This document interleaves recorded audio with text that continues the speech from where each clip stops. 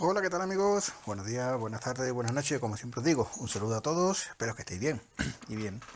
¿Qué vamos a hacer hoy, José? Pues vamos a ver un vídeo sobre cómo alimentar a, la Mini, a la S2 Mini. Estoy viendo que esto es una de, de 1 S2 Mini y vamos a ver cómo la podemos alimentar. Como estáis viendo tenemos un abanico de posibilidades de, alimentación, pues lo suficientemente amplia como para no tener problemas para ninguno de nuestros proyectos, ¿vale? Bueno, la primera, la que ya conocéis, la, MB102, que está este modelito y está también este modelito.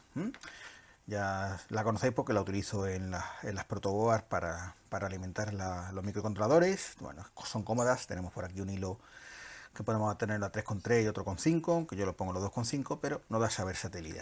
Y luego tiene un conector de USB y un conector jack. ¿Lo veis? Este tiene solamente el conector jack. Por este lado tiene el USB de otro tipo, ¿eh? el micro, este es el tipo A y este es el micro. Y nos permite conectarle, bueno, pues yo principalmente utilizo este tipo de fuentes de alimentación. Estas fuentes de alimentación son muy comunes en los dispositivos de, la DSL, lo que es el router, para la DSL y para una de fibra. Este en concreto es de una, de una fuente de, una, de, una, de un router de fibra. Entonces, bueno, estos conectores nos permiten entre 7 y 12 voltios, con lo que tenemos un abanico amplio de voltaje, ¿vale? Yo tengo ya uno por aquí, lo vamos a enchufar para que lo veáis aquí la tenemos, ¿vale?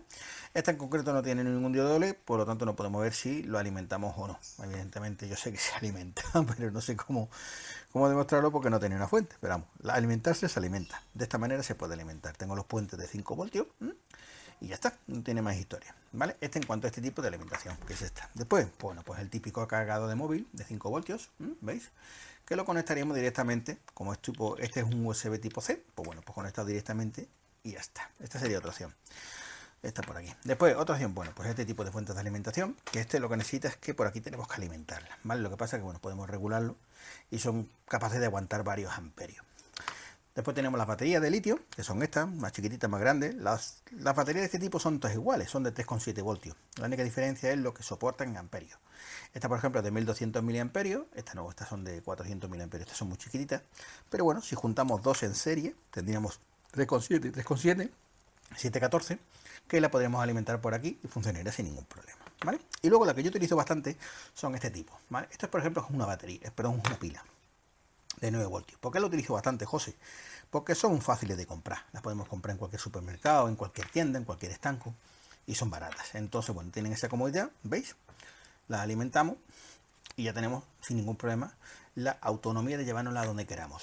Y esta, esta misma, que es también una batería, perdón, es una de 9 voltios, pero esta es una batería. Fijaros, por aquí tiene un cargador y esta tiene 5500 mAh, o sea, 5 amperios medios. Esta es capaz de darle bastante autonomía a esto. Todo depende, evidentemente, de lo que vayamos a, a alimentar. Ya sabéis que no tiene nada que ver el voltaje con el amperaje, con la corriente. Cuanto más cosas tiene model, pues menos tiempo dura. Luego tenemos otras, que eso ya lo veremos en otro vídeo, que es el tema de los, los step up y los step down. O sea, para subir el voltaje y para bajar el voltaje. Por ejemplo, yo necesito 5 voltios y tengo solamente 3,7, pues podemos utilizar un step up que lo que hace es aumentar el voltaje. Pero eso lo veremos en otro vídeo. Y luego tenemos también este tipo de, transformadores, que os lo voy a enseñar, que también lo haré en otro vídeo por eso, porque es bastante amplio, que fijaros. Mira qué chico es. ¿Eh? Esto aguanta 200 voltios de entrada y 5 voltios a 800, no este de 600 miliamperios. ¿Veis qué pequeño? Pues esto tiene su ventaja. Luego tenemos este que aguanta un amperio, luego los más grandes que aguantan 2, 3, pero eso ya lo veremos en otro vídeo. Bueno, pues como habéis visto, tenemos un abanico bastante amplio en cuanto a fuentes de alimentación para nuestra mini. ¿De acuerdo? Con lo que podéis buscar el que se adapte a las necesidades más propias del proyecto que tengamos. Y poco más que contaros. Si tenéis cualquier duda, cualquier cosita, ya sabéis, me llegar a través de los comentarios del vídeo. O bien ya sabéis cómo poner en contacto conmigo a través de Facebook, de Messenger, de WhatsApp, etc. ¿De acuerdo? Pues nada más amigos. Un saludo a todos y hasta la próxima.